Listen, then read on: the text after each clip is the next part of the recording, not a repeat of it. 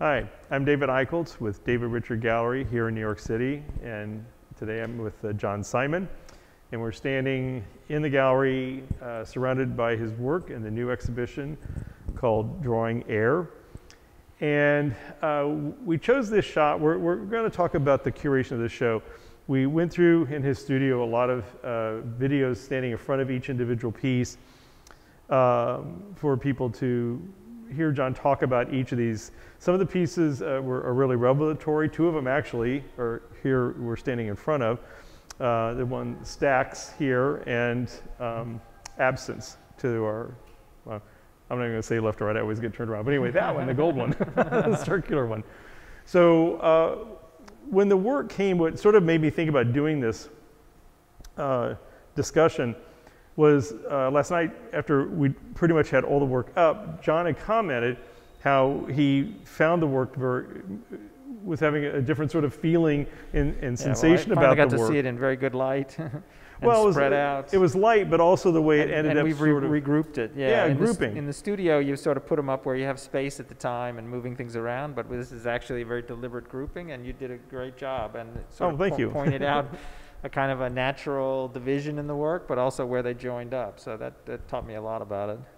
Well, I think in the we didn't have an overall plan other than the fact that you knew you wanted stacks right there. Yeah, yeah, and, yeah. and it's perfect. it's yeah, like it's totally framed by the wall. Fits the wall perfectly. and shape. so it was like made for it. But what was interesting was then when the work started coming in, and I was thinking about it over the last couple months as I was trying to write about it and, and, um, and, and, think about the show. Um, when it got here and we started putting the work together, the two large pieces, you know, um, needed some quiet space in between them. And I was thinking just about the, the white, uh, the pieces that were predominantly white. But as I, we started putting them up, I realized it's, it's also very powerful for a couple reasons. Um, Stacks is not is one of the few that you did not paint uh, draw over, yeah. but it's a very powerful piece, as we'll get to, based on your meditative practice. And so that's what sort of makes these revelatory pieces in, in a way. And it turns out, looking at this piece now, the one here in the middle, uh, Blue River, Blue Flow, Blue Flow. Um, is a couple things happening on this wall and along this side. One is, aside from every, every work in this show is, it comes out of a daily drawing practice and is meditative practice. So drawing is the basis for everything. These all start out as drawings. And then they're uh, scaled up and realized in, in a sculptural uh, realm. And then lately, he's been going back now and putting the artist's hand back on by drawing um, on the surfaces of these pieces. So what's interesting is a couple things here. One is most of these have the drawing back on the surface, and it just sort of happened that way that this uh, show got sort of assembled when it was here and we started putting the work together um, in a very organic way. They all just had this incredible dialogue, and when we step back now, we're realizing it's for a couple of reasons. One, I was trying to do it so that we had something that was smaller scale, more negative space, and more white to not compete with the two larger pieces. But it turns out, though, because they're white, you were drawing more on them, and they're totally connected. But the other thing, too, is this river element. So Stacks has this incredible negative space on the right side of this river, this, this essence of a river cutting through it. And that is sort of such a, a, a core and important element in all of these pieces visually.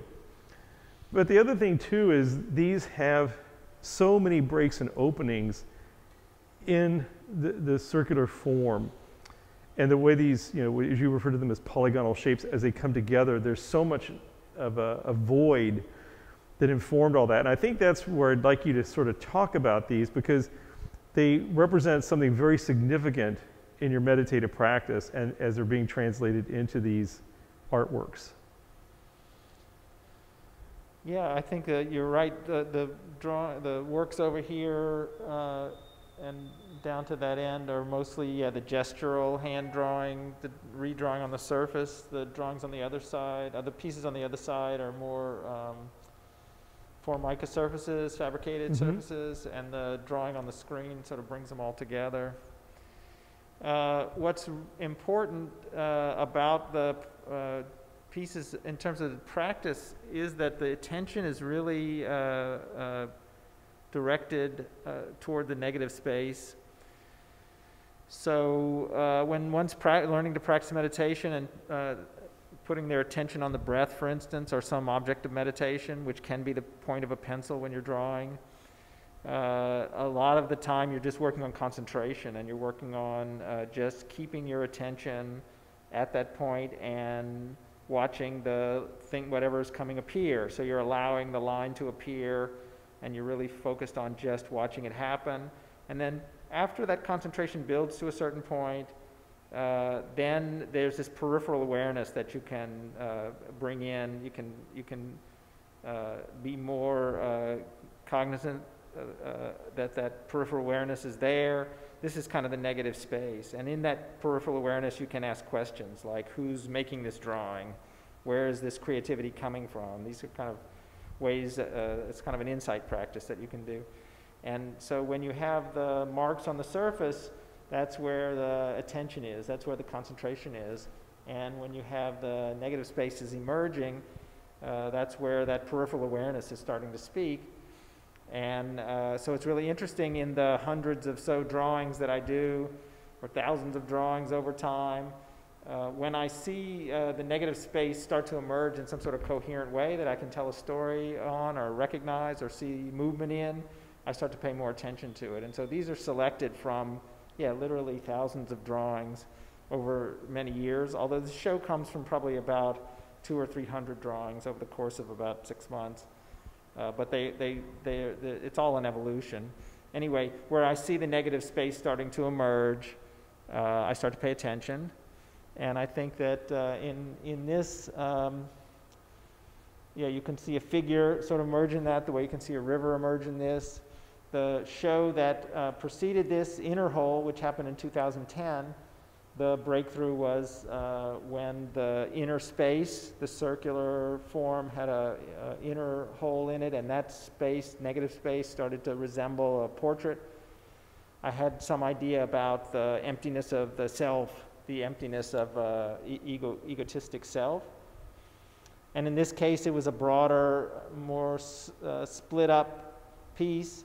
And the idea was that not only the thought that's the self was empty, but in fact, all of the observer, the observer of that consciousness, that peripheral awareness itself, uh, is just part of that continuum. So, it, so it's appropriate that it's just the wall there. It's not a person, but it's just the wall. And in the front is this kind of concentrated area where we put all our attention. We put all our attention on our day to day problems and issues and thoughts and stories, and they're all sort of played out across the surface. And so it's a way to see a kind of a wholeness to, yeah, the self, the construction of the self, and the continuum that is, you know, consciousness that underlies everything. So the other thing too is uh, in this shot is I, is this one of the largest pieces you've done? Uh, These two, I mean, they're 10 by 10. A couple of the largest, yeah. I've done large works, but these are a couple of the largest for sure. Because the scale is, is interesting. There's a number of these that are like roughly four foot by four foot, and then these are uh, 10 by 10. So it, it's really uh, challenging to uh, to do to scale them up and to to keep everything sort of you know still working in them. But uh, yeah, the river I think is really powerful in this one too. I love that um, how that those shapes just the way they're sort of assembled, and it, it's just so subtle but it's just so powerful. And as we were talking earlier, the rivers actually has been a, a theme or some recurring um, aspect of your work that has clearly drawn you. And um, so there's something about it. It's either Yeah, the, well, the story I tell really, uh, and also in the inner hole show, every uh, piece, circular form, had a riv- circular river, and I think of it as a uh, yes. symbol for the flow of thought. You know, the, that that kind of constant uh, chatter that goes on in our mind. We've got to Mhm. do this, we got to do that.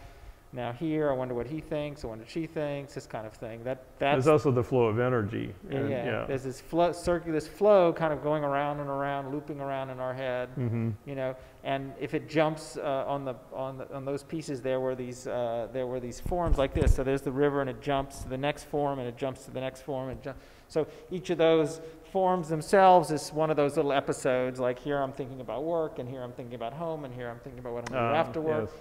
And, the, and it just moves through them. It has its own turbulence, and it kind of goes from one to the other. And in the inner hole show, it's circled.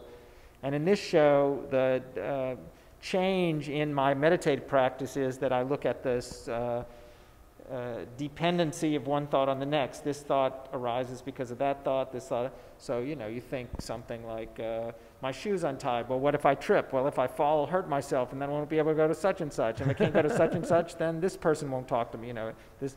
So what's happened in the meditative practice is to recognize that chain of dependent arising and to be able at some point to stop it, to Right. arrest it with mindfulness and stop that course of thinking at deeper and deeper levels. And so in this show where the cycles break, where they, and, and in this case, very open, right? So it's not even just a little break, but This is almost approaching linear. yeah, so this is a very open state. This is a state where you're just you're just seeing what's coming and letting it move through you, and it's not it's not looping back. It's not creating that kind of feedback loop. Yeah.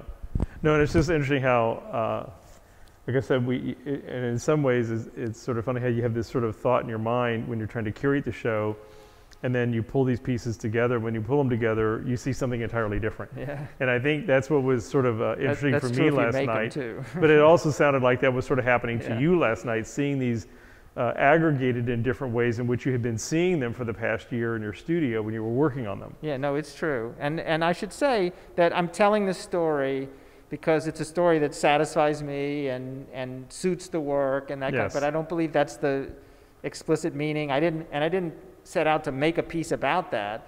That's actually what I'm learning from making the pieces. They're- Exactly. They're really revealing to me, those teachings are really revealed to me by the practice and considering the stories and looking at it.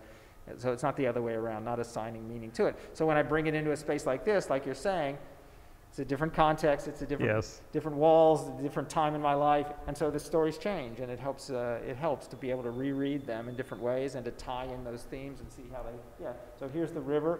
Starts in improv. There's the river form. Comes through this piece. Comes through here. Comes Yep. down here. Appears again. It's really interesting to watch it move around the room.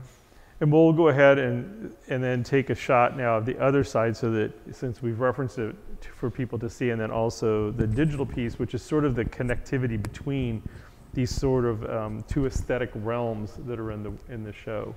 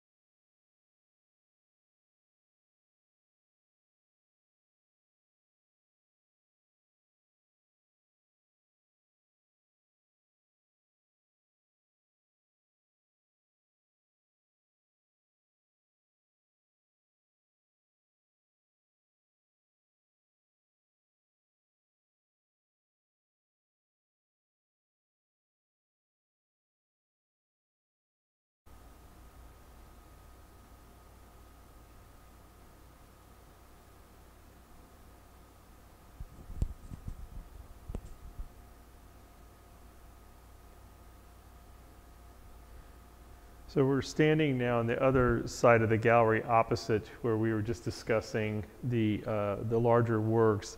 And the pan showed um, the a selection of the 48 by 48 inch wall sculptures. And the, uh, what was noteworthy, uh, there was one at the end that was very linear. It was a stack, and it was sort of a continuation of the other side, and then it, it joined in because it was a river, another river, and, uh, and the palette, uh, uh, clearly very earth uh, colors, then started flowing into these other works. So it was sort of a bridge going that direction to the uh, other half of the show. But these are all, um, as you were saying, they're sort of more inner hole. They're more circular, but they are broken. They're open. Right.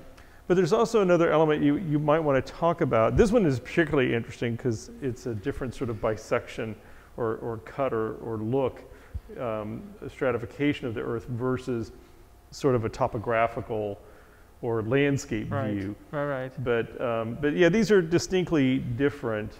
No, not distinctly different. I mean, they're all drawn out of they come out of the drawings and, and, and what have you, but uh, in the meditative process. But why don't you talk about how you, how you see them in, in contrast, you know, to, to the other half of the show? Yeah. Oh, yeah. um, yeah, when I was selecting them, I guess I was attracted in these to the large flat colors. I've always worked with Formica. The Innerhole show was all surfaced in Formica, so I wanted to use that material with these large flat areas of color. Uh, I was trying to find ways to work with those where there'd be sections of them that were drawn in, but it really seemed to be either there was drawing or there was no drawing. There was not. I I couldn't find a great hybrid look to, Mm. to make it work. So. So you uh, had contemplated possibly then drawing Yeah, and I try. I looked at ways of drawing on top of the Formica with uh, materials, but um, also not that satisfying. This uh, the surface that we get with the primer and the sanding is a much more satisfying surface, and it takes the okay, so materials much better.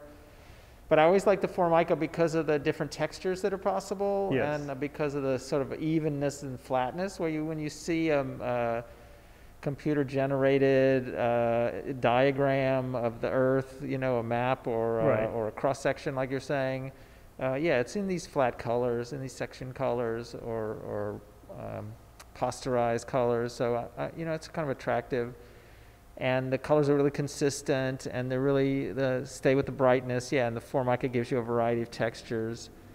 So that was a kind of a material choice. Um, i guess playing trying to play that absolute regularity versus the, these with the hand gesture and looking for some some play there.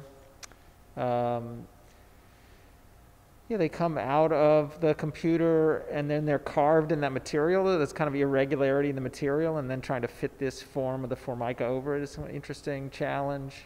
And it sometimes twists it in different ways and gives different like kind of reflections off of it.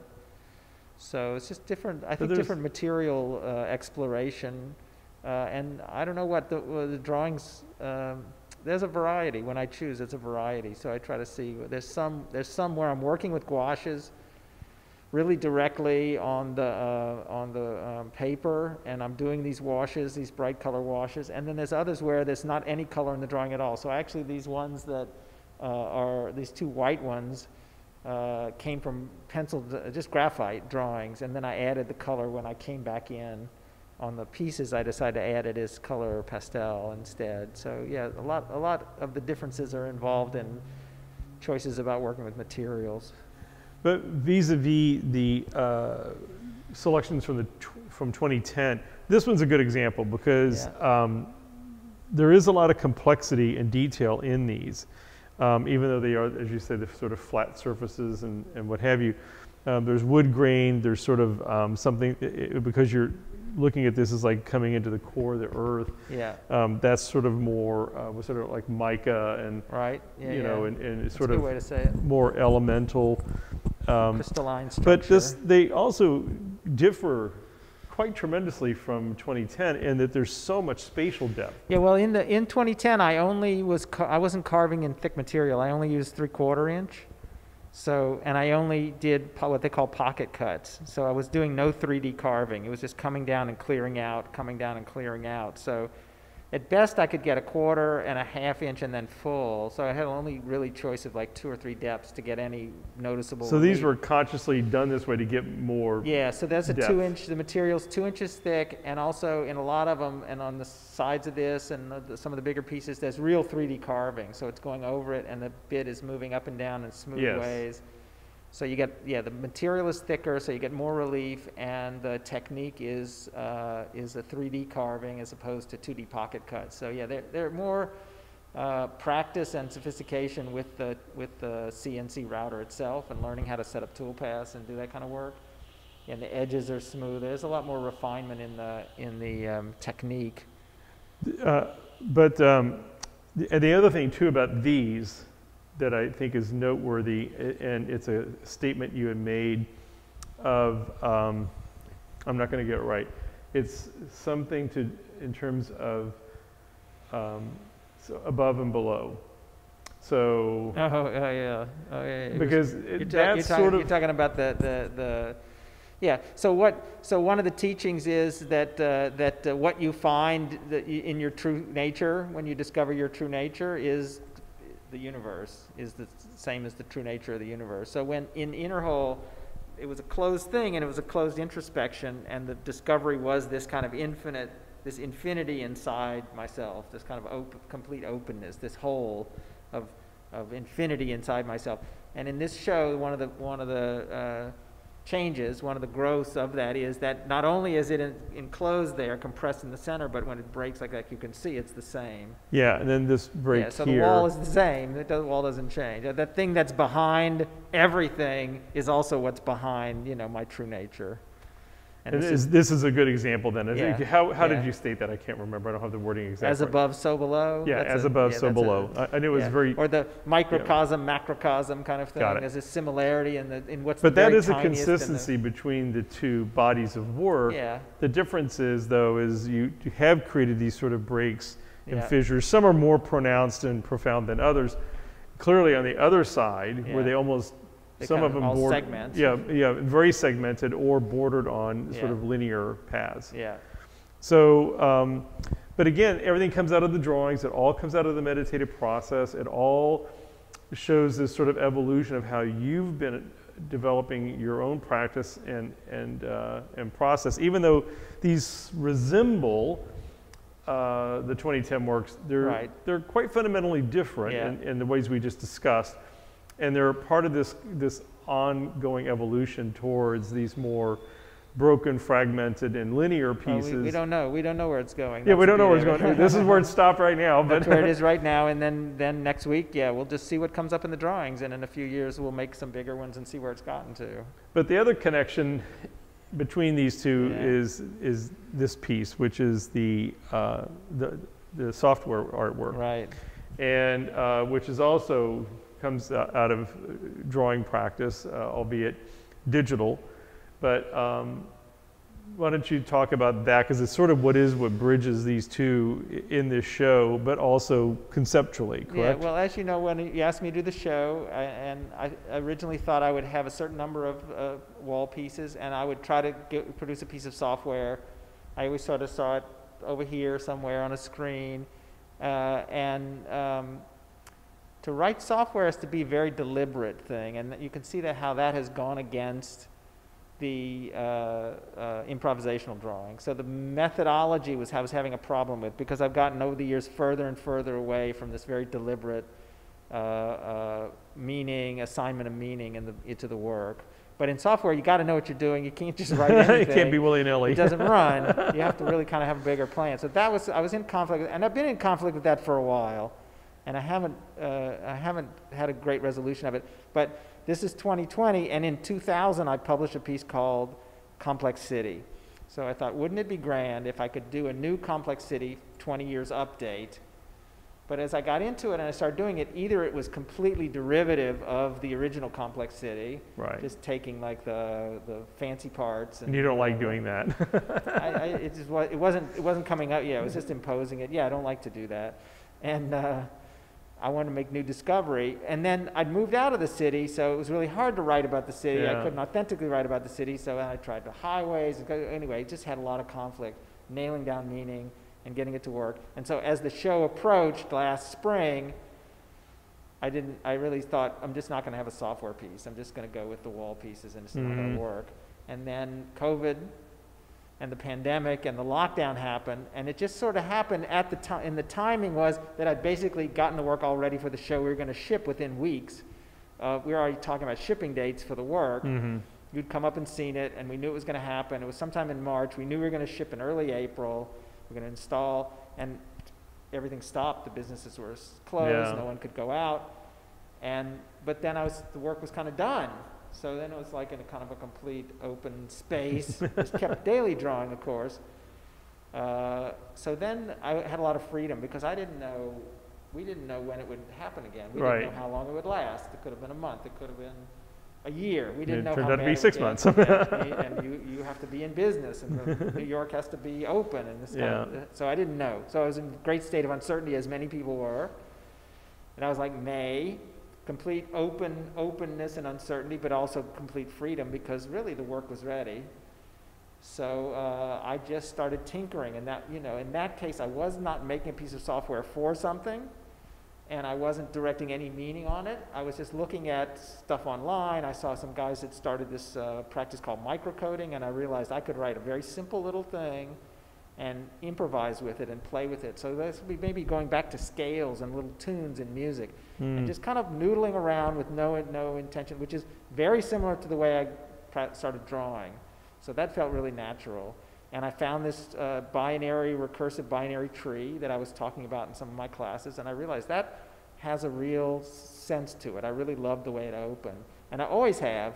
And I thought, why not just start with something as simple as that, which is just take a line, double it, double it, double it, you know, very simple recursive Right. algorithm and it makes a tree really simply, and then all the ways you could manipulate it. So all the scenes in this are manipulations of that. So it's a, it's a kind of an algorithmic drawing with just variations and manipulations based on the sensibility of all the stuff of color and line that I've learned in drawing. And it, so it came together much more naturally and much more in the way that the drawings evolved. So I was very happy with it. And then, you know, it was very somber and I didn't know where it was going. So it was like this tree and I liked it. But then it got turned on its side and I saw uh, this lung shape that kind of came out. And I started thinking, huh, that's been on my mind. So in the way that the unconscious reveals itself through reading the drawings, it started to reveal itself through reading the variations in the software that I was tweaking. So I was turning it all different ways. It looked many, many different ways before it looked like this.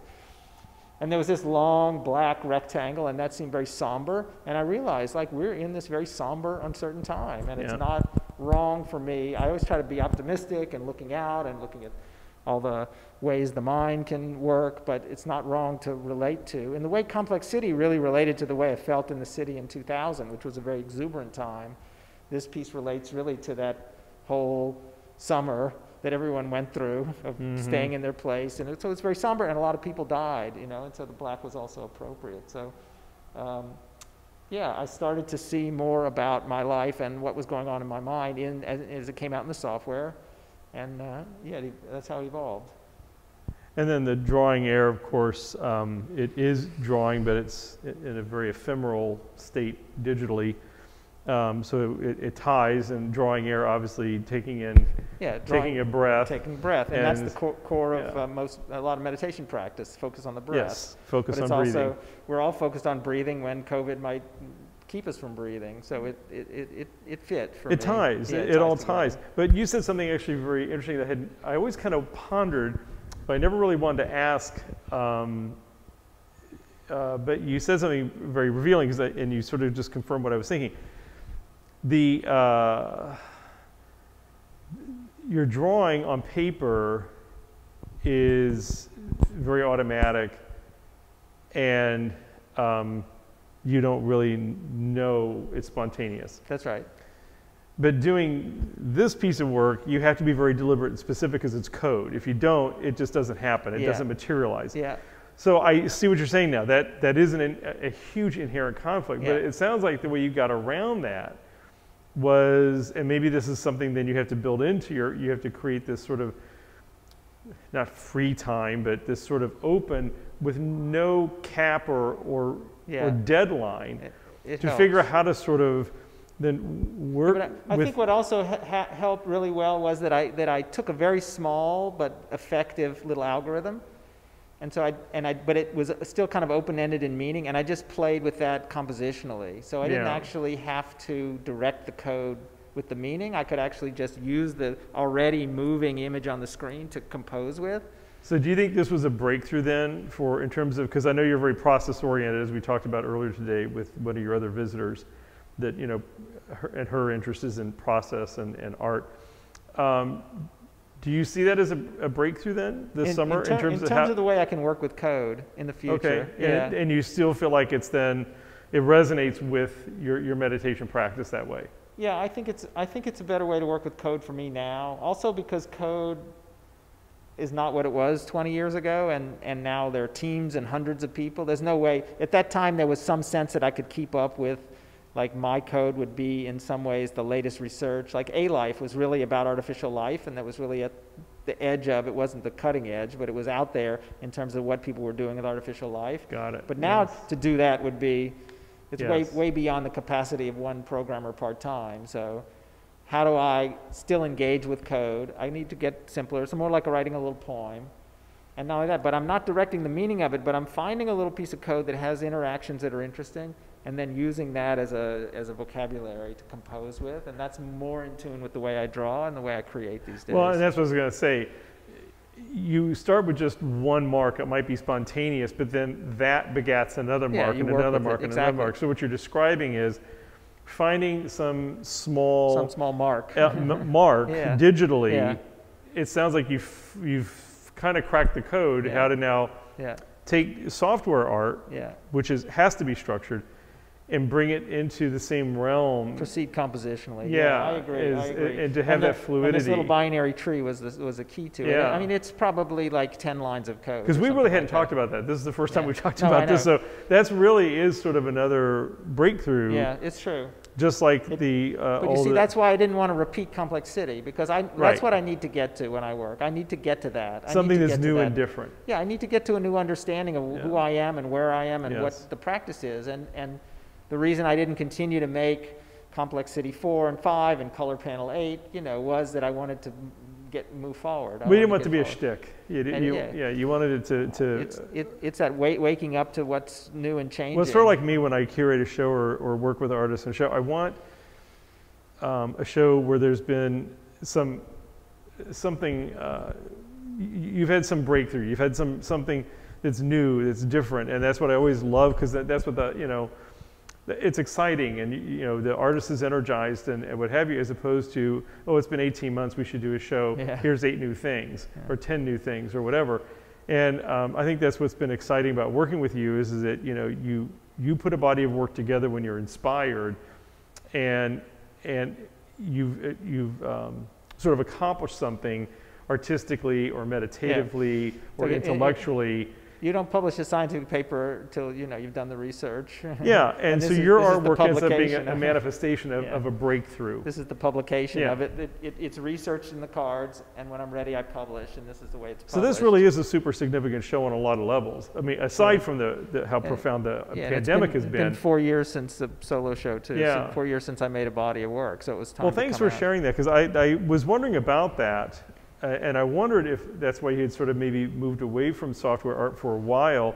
But I knew you also felt like uh, code, as you just explained, has changed so much and so profoundly. Yeah. But I think you've sort of found your way back into it. I hope so. I love it, but you know, there's a I do lot of too. there's I- a lot of uh, yeah. There were a lot of issues. I've been through a lot. I could give you the whole history of all the of all that, but uh, It's doing the kaleidoscope now. I hope it's showing up on the camera, on the video. so we're trying to stand so that what you saw was basically two views of the exhibition. There are 14 works total. And, um, and what we were trying to capture in the writings and in our discussions that John and I have had over the last several months is sort of the significance of the work and how it has been a breakthrough for him. But what we have focused on is the meditative process and the, the drawings. And now that this is complete and it's up, and we now are seeing these this connectivity with the rest of the show. It's been great to kind of talk about that with you Yeah. to kind of get your your early thoughts now that you've seen everything up on the wall and, and curated in a particular way. Um, it's been a lot of fun, so I appreciate it. No, it's And, amazing. uh, it's great to have the discussion. That's really what, what, what showing it is about. Yeah. to be able to bring it out and talk about it. So thanks for that. Oh yeah, well, and I'm sure we'll continue our little video discussions because um, it's always so good to talk to you because uh, things come to my mind, and it's always great to hear how it ties back to other things in your practice or how you think about, um, you know, how it ties to your other work, or just even things that are going on sort of in, in, in your life, and and also now with the pandemic, of course, that sort of has affected everybody's lives. So.